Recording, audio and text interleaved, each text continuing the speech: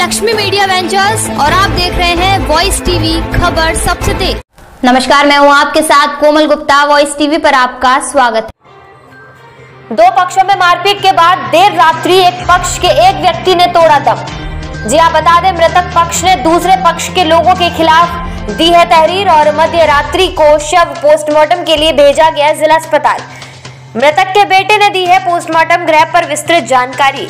बता दें, फिरोजाबाद के थाना लाइन पार क्षेत्र दतौजी कला में बीती शाम दो पक्षों में झगड़े के बाद मारपीट हुई, जिसमें दोनों पक्ष रात में अपना अपना मेडिकल कराने जिला अस्पताल के सरकारी ट्रॉमा सेंटर आए। दोनों पक्षों ने एक दूसरे का आरोप प्रत्यारोप लगाए। बीती देर रात एक पक्ष से अट्ठावन वर्षीय बालक राम पुत्र गोपीदास निवासी दतौजी कला थाना लाइन पार की मौत हो गई और मध्य रात्रि शव को पोस्टमार्टम के लिए जिला अस्पताल लाया गया। थाना प्रभारी लाइन पार से संबंध में उनके सीयूजी नंबर पर बात करने पर बताया गया कि लड़ाई झगड़े में उक्त व्यक्ति की मृत्यु हुई है, जिसमें परिजनों ने मारपीट से मृत्यु होने की तहरीर दूसरे पक्ष के लोगों के खिलाफ दी है। फ़िलहाल शव का पोस्टमार्टम कराया जा रहा है।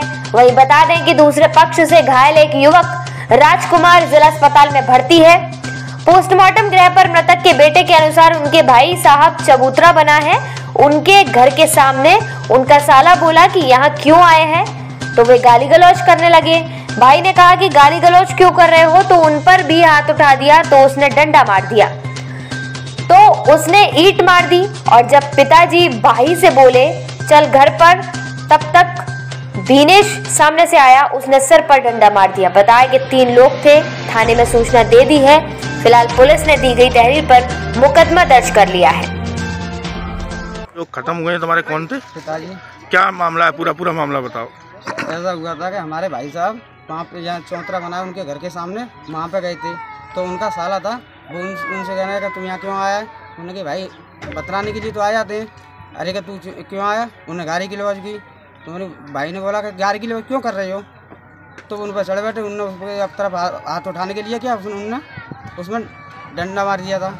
भाई साहब ने तो उसने उसमें ईंट मार दी उनका सर फट गया। फिर उसके बाद पिताजी बोले भाई साहब से चल घर पे। तो उसका एक भाई आया ब्रेमोन का बिनेश उसने जाकर पिताजी के सर में लाठी मार दी। कितने लोग थे लगभग? ये तीन लोग थे। आपने थाने में सूचना दी? थाने में सूचना दी। ठीक।